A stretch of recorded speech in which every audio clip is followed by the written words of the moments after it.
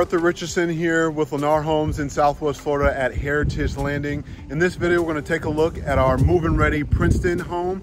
This is one of our last golf included membership homes in the community and it has a pool. Let's go take a look.